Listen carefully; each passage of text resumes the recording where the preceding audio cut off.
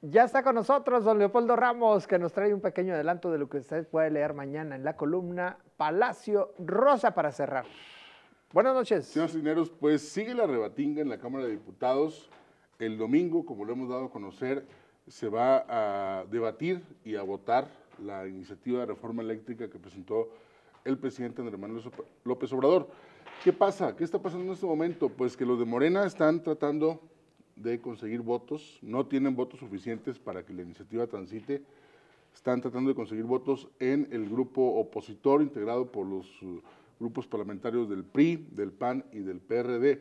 Le faltan a Morena 56 votos, pero hoy Alejandro Moreno y Rubén Moreira, el primero presidente del Comité Ejecutivo Nacional del PRI, el segundo coordinador parlamentario del PRI y líder, en alguna manera, de este grupo opositor, aseguraron que están blindados, que ya los eh, diputados que les quedan, que no se han ido con Morena este, y con la propuesta del presidente López Obrador, están amarrados, que van en, el mismo camino. En el caso de los eh, siete diputados de Coahuila, van en el mismo eh, orden. Pues faltan días, Sergio. Y que ya se fueron 11, ¿no? No, no, es, este, le faltan 56 votos a Morena de aquí al domingo. lo que yo leí fue que 11 se han ido para allá. Hoy lo descarta, hoy lo descarta ah, Queda descartalito.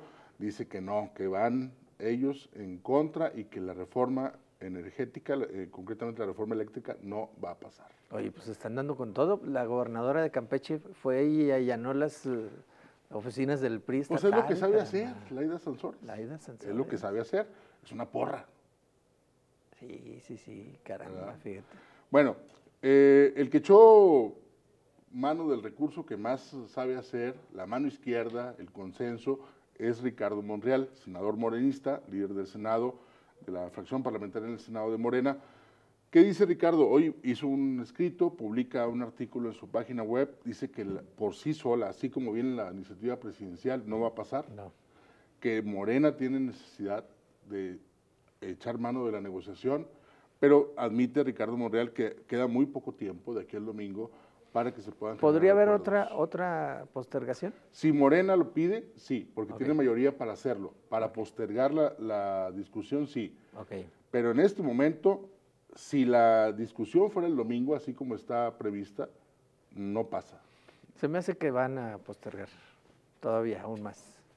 ¿Tú crees que en el domingo de resurrección no se dé? No. No, no, no. Pues está calientito el tema, Sergio. Sí, porque está mucho en juego. Así es. Este, ahí es un tema de mover las piezas.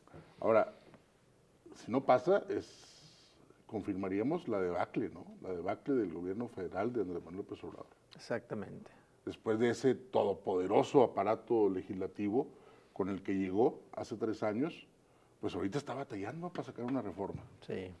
¿Algo más? Por lo pronto, señor Cisneros. Nos vamos entonces. Quedó usted muy bien informado con las noticias de mañana antes de ir a dormir. Nosotros nos despedimos, nos desaparecemos el fin de semana, esperando que el próximo lunes nos sintonice como amablemente lo hace todos los días en punto de las 9 de la noche. Mañana también hay noticias con Edgar Javier Suazo a las 7, 7 de la tarde noche de el sábado de gloria. Por el día de hoy descanse, vaya en paz y disfrute de este Viernes Santo. Chao, chao.